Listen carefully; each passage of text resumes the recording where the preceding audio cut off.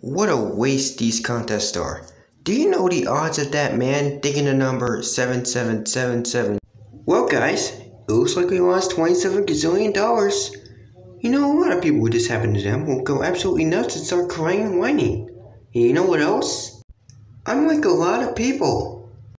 And thank you for watching my voice demo on Jon Arbuckle.